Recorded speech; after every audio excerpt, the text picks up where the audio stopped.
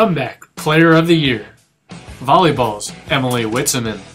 Witzeman returned to action after nearly a year off due to elbow surgery against local rival Towson as the Retrievers swept the Tigers in three sets.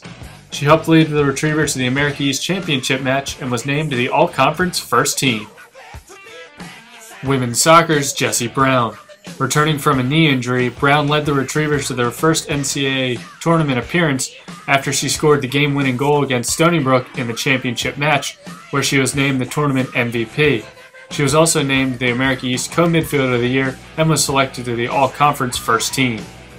Women's Tennis, Kim Berghaus. Returning from a shoulder injury, Berghaus was named the America East Player of the Week on April 15th.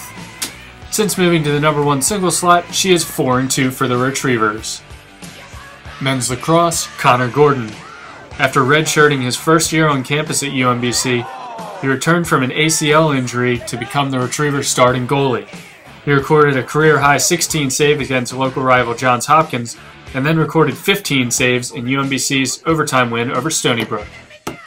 Women's lacrosse, Allie Carpenter. After suffering a season ending knee injury in the second game of the 2013 season, Carpenter has come back to score 9 goals and record 5 assists this season.